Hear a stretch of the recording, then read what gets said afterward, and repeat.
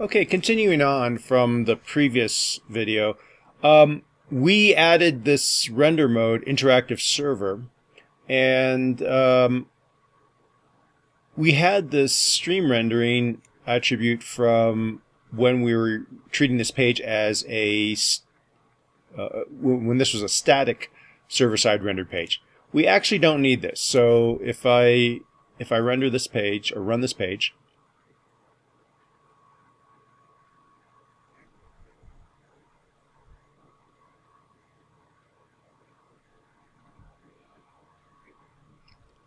and go to my to-do list, we notice the behavior there. If I get rid of this now,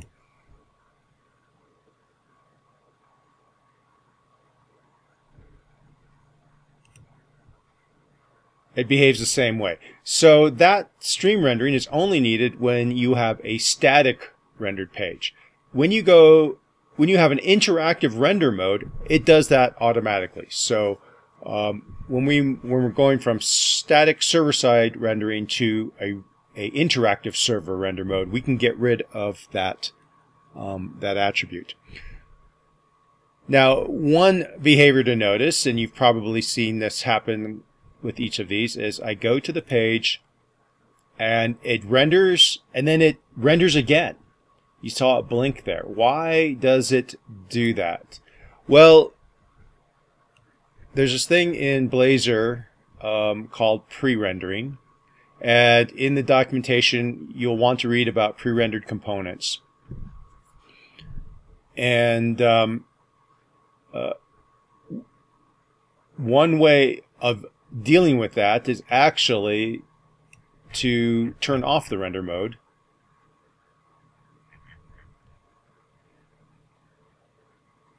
And you can do that by changing how you call your render mode. So if I change this to this and I set pre-render to false, so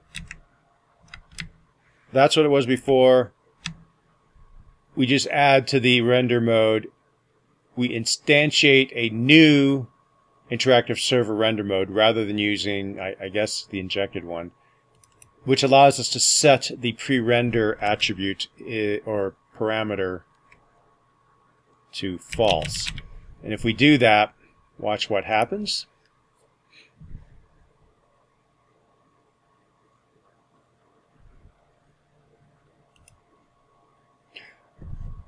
We only get one render. Of course, notice that, and this is because I put a pretty sizable timer on it, it does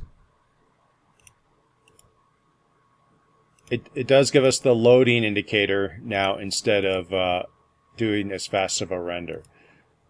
But that may be preferable um, uh, to having this show all the information and then go away and then show it again. So a simple way of dealing with pre-rendering is just to turn it off. Um, and that's valid if you don't really need um, you don't feel the need for pre-rendering. The, the advantage of pre-rendering is mostly SEO, search engine optimization. If you can get the data there quickly, uh, then you probably do want it to be pre-rendered. Now you can turn off um, pre-rendering for the entire site, um, and if you go to uh, where are we at?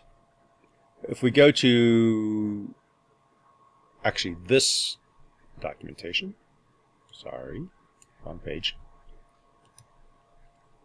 If you look up render modes, it, it's the chapter just before pre-rendering in the documentation. They talk about um, uh, turning off pre-rendering and this will describe um, this section will describe explain what pre-rendering is. The important point here it is enabled by default for interactive components. Um, and then it shows you how to, and this is where it gives you the documentation on how to uh, disable um, pre-rendering um, for different modes. So if you're setting interactive server render mode, you would um, you would instantiate a new interactive server mode and set the uh, pre-render parameter to false. Same thing with interactive WebAssembly or interactive auto. Um, you you you just uh, change to the syntax when you you select that. Um, you can also disable um, it, you know, site wide. It gives you examples of that, but then you would be setting essentially a render mode for the entire site. So most likely you're going to be using this approach by per component.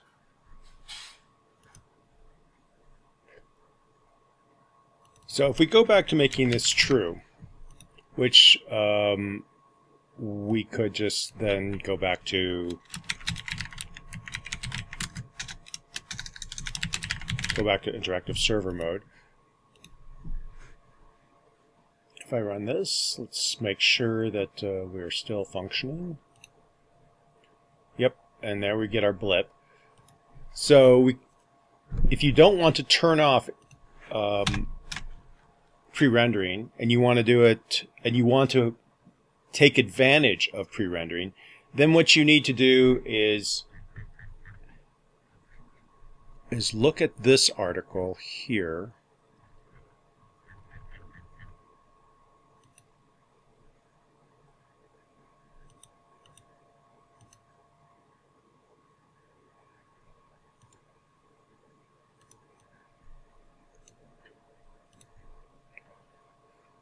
on pre-rendered components. So this whole time I've been going to the .NET 8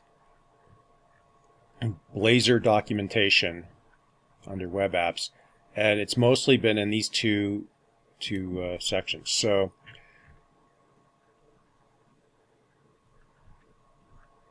what we what this describes is how to persist application state from the pre-rendered component to the final rendered component. And um, this sample of code uh, shows how to do it. So what you're going to do is inject a persistent component state object here at the top and then we need to change how we are um, doing our OnInitialized in general, we need to do the following things.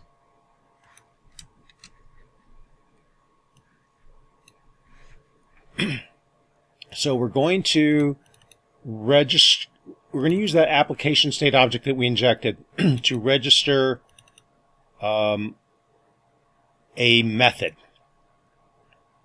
And that method is where you're going to store your data. Now, right now here, you know, whatever you want, this would be an ideal place to maybe use a, a data, a DTO, data transfer object class that would hold, you know, the things that you would need when you initialize the uh, page. Um, but it can be anything you want. And here it tells you that token is a is the string name of the um, uh, of the type of whatever data you're storing. Name of is probably uh, the best way to do that so that it always stays consistent. And then the, the type is just the type of whatever this data is. So here what we're doing is we this gets converted into JSON and gets stored. Uh, anyone remember uh, with um, uh, the the view state object that you had in um, um, um, in web forms, well, it's kind of like that, I think. So this gets persisted as a J, as JSON text, and uh, then um, uh, it's it's done as an asynchronous task. You register that method with reg register on persisting, and that will be called at the right point to restore your information. Then what you do is you check the application state. Um, and you see if you have the data. If you um, are a, if you are um, if you are able to get uh, the state, th then um, you can store and restore. They kind of do a double negative here. They do it. If you can't get it, then go get it. Otherwise, restore it. You could probably flip that around. Um, but uh, so if you get it, then restored is an object uh, variable that will that you can assign into your data type. It will be implicitly converted into your object. So that will take it from the JSON back out to your your data object. Otherwise, uh, what you're going to do is um, uh, you're going to to actually go get your data. So that way you only get your data once. So it would look like this. Um, I'm going to go in here and um,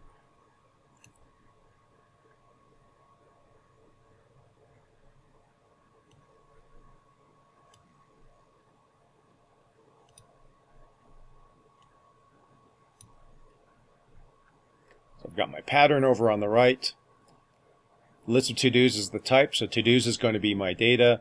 Um, I will grab this piece here and throw it at the top. I need this this declaration here. I need a persistent state subscription object. And then I need a method to persist my data and I need a uh, destructor. So I'm going to take those and I'm going to add those at the bottom here. Um, and I noticed this. Uh, it wouldn't let me. Um, uh, it says the containing interface doesn't dispose, and it wants we you know they want to make sure that the persistent subscription state is disposed. I'm thinking it it may not be needed but uh, not knowing what to do uh, for sure, I just um, threw it into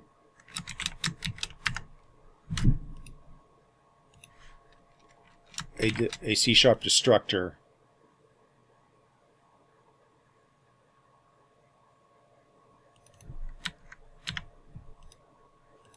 And had it run on the on destruction. So um, I'm not sure if this has to be done. I'm thinking when everything goes out of state, it should dispose. I would wonder why they did that. But um, just to make sure I did that. And then this will be our to-dos object. And then we need to specify the type. And I and then they recommend actually just using name of uh, whatever your type is.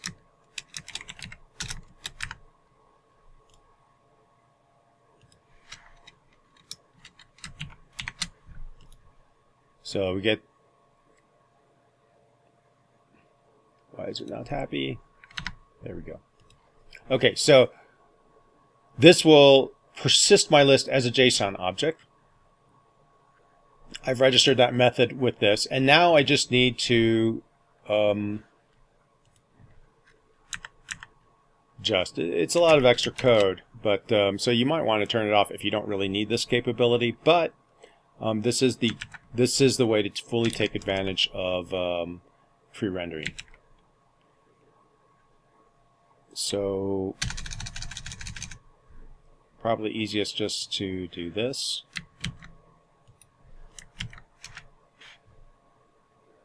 This is my data collection part.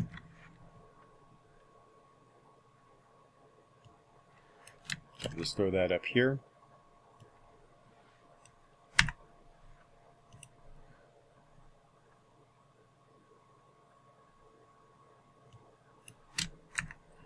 Clean up my curly braces so it's not a complete mess.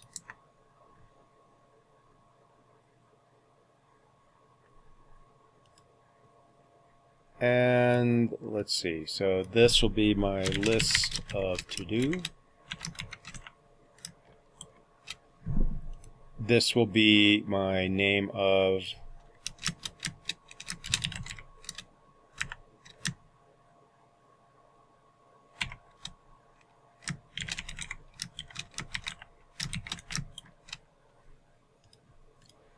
And so this now and then down here, what I'm doing is I'm saying, well, if if it's not, you know what? Let's just do this. Let's say, let's flip flop these.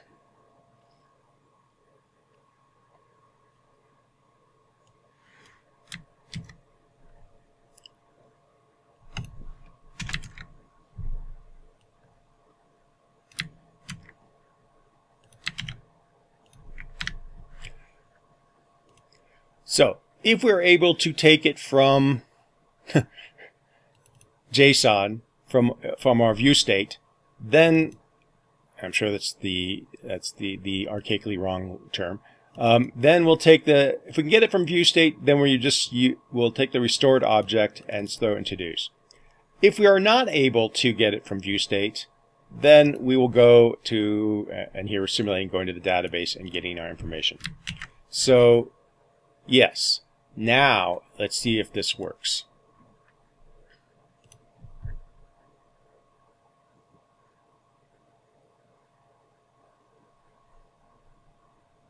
Go to the to-do, and it just shows up, and it just works. So that cleared up um, that blip. And you notice we don't even see loading. It um, so quickly um, on the server that um, um, even with the delay await, uh, we get our data very, uh, very rapidly. Um, let's put this to 5,000, see if we can, if it changes it.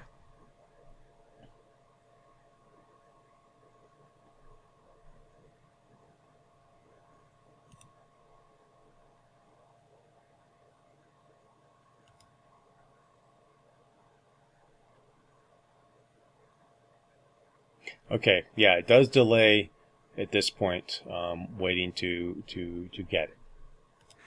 But what we can do is put our stream rendering back in. So let's put attribute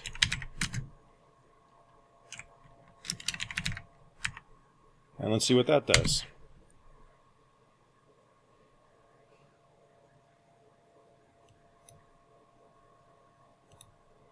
There we have our loading indicator.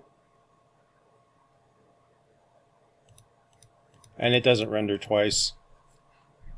And uh, so we have everything now. So put your app page directive. Add your render mode. If you're doing interactive server and you uh, and you have state that's being brought in asynchronously, then um, inject an application state provider. Um, set enable stream rendering, and then write yourself a method to persist your data, whatever it is. Bring in a destructor to, to make sure that goes away and add a persisting component state subscription object here. And then you need to register that method with this persi register persisting. And then you need to check the application state object to see if you can get the data. If you can get the data out, you use that. If you can't, uh, you need you go and get your data. So that's basically what's going on here. Um, so it gets a little complex, but we are managing a lot of things that ordinarily would be complex to manage. If you wanted to do pre-rendering, if you wanted to get the advantage of that for search engine optimization, if you wanted to um, not have that blip when uh, it comes in, well, you kind of have to do all these things. So um, once you get used to the pattern, uh, probably not a big deal. And some of this could be abstracted out, I think. Um, maybe uh, thrown into a superclass of some sort. Um, but uh, um, um, but yes, that's uh, the pattern for using for for using the interactive server mode and handling um, persistent component state. So next time, uh, next uh, video, I will go over.